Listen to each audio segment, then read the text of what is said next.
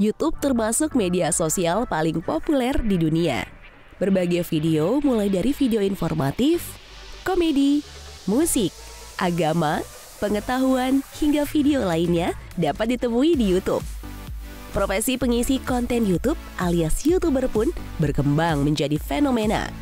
Termasuk di Indonesia, bermunculan para YouTuber muda yang sukses meraih keuntungan dari YouTube.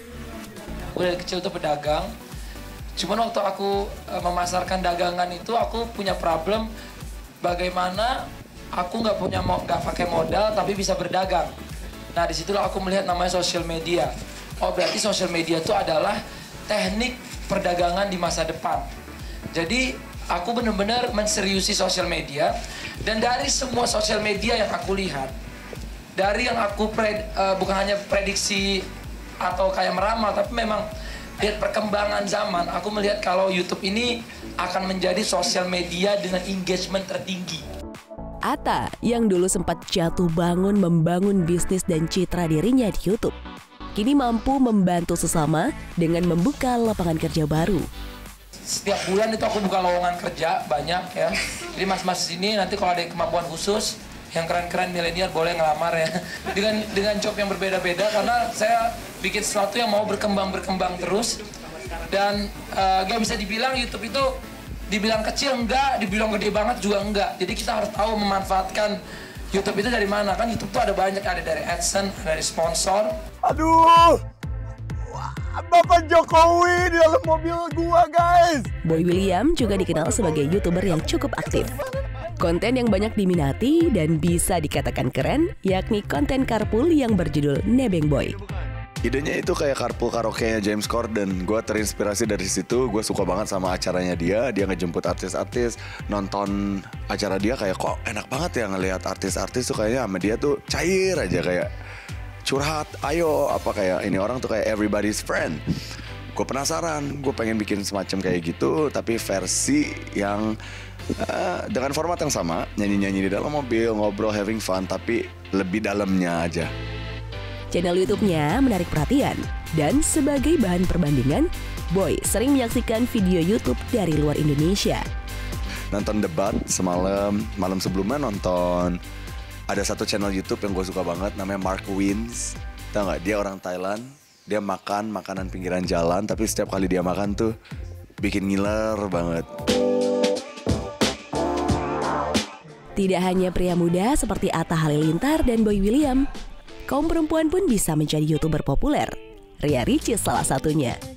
Dari YouTube tuh peringkat 1 sampai 10 cowok dan biasanya tuh channel-channel news atau channel-channel yang lain gitu. Jadi dengan adanya Ricis Official masuk 10 juta subscribers itu udah cukup membuktikan bahwa perempuan dan berhijab pula juga bisa memimpin di Asia Tenggara.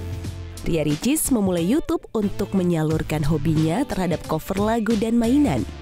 Kini konten YouTube-nya diisi dengan banyak hiburan yang ternyata disukai penonton. Uh, dari tim udah nyiapin sesuatu sih. Kita kayak pengen bikin web series yang ringan banget.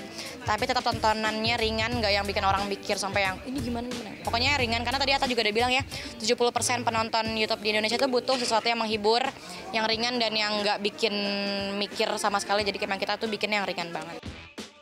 Bagaimanapun juga, semua hal memiliki sisi baik dan buruk. Jadilah seorang pengguna internet yang bijak dan cerdas, saring kembali informasi apa saja yang sampai pada Anda. Bagi para YouTubers, jadilah YouTuber yang bijak dan berkualitas, tidak hanya memetikkan profit semata. Di tengah maraknya pengguna media sosial, membuat konten viral penting bagi para konten kreator. Sebab sebuah konten tidak akan menjangkau banyak penonton jika tidak viral sebenarnya uh, selalu berubah-berubah intinya kan. Jadi kayak setiap eh, kadang-kadang tiap tahun ada zaman-zaman misalnya pas lagi Ramadan apa sih yang lagi ngetren, akhir tahun apa yang lagi ngetren. Sekarang lagi president, presidential debates yang selalu yang trending yang muncul dari berita-berita gitu ya. Namun selain viral, ada lagi hal yang perlu diperhatikan saat membuat konten YouTube. Agar tayangan tidak hanya informatif, namun juga sesuai dengan peraturan yang ada pertama community guidelines kita itu jelas sekali apa yang di, tidak dibolehkan atau apa yang dibolehkan. Uh, jadi pasti uh, yang eh, pornografi atau yang ada kekerasan segala macam itu ada banyak banget ada mungkin ada 11 12 yang yang dilarang gitu ya. Tren, viewers, dan YouTube policy. Selain ketiga hal tersebut, masih ada hal lain yang perlu Anda perhatikan.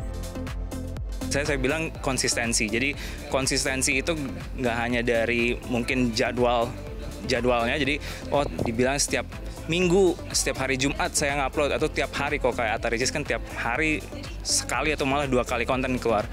Itu bikin orang jadi oh menanti-nantikan eh, konten dan juga biar tahu oh ini tiap minggu bakal ada. Jadi saya mau subscribe gitu kan. Tak kalah penting, buatlah judul konten Anda semenarik mungkin. Sekarang Anda mau coba-coba jadi YouTubers? Silakan saja. Semua orang punya kesempatan yang sama dengan Ata dan Ricis kok. itu Halifah sendiri yang memang ingin sekolah di SMA Taruna Nusantara.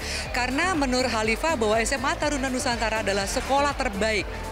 Dan memang betul luar biasa susah sekali masuk sekolah di SMA ini. Eh, penerimaannya memang betul-betul ketat.